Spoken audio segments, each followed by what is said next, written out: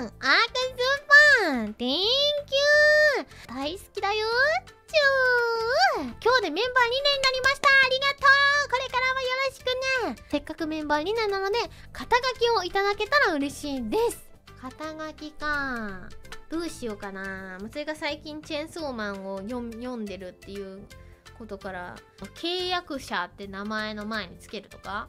肩書きでしょ？新しい名前じゃないでしょ？肩書きってなんたらのっていうとこでしょ？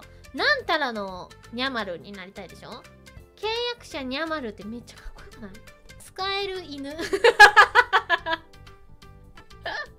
そんなこと思ってないもん。で祭りの契約者ってつけとこうよ。祭りの契約者って。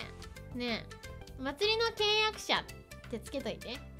使える犬はさそれはもうあんたがつけな。使える犬って言ったやつ。おいあんたがつけるんだよ。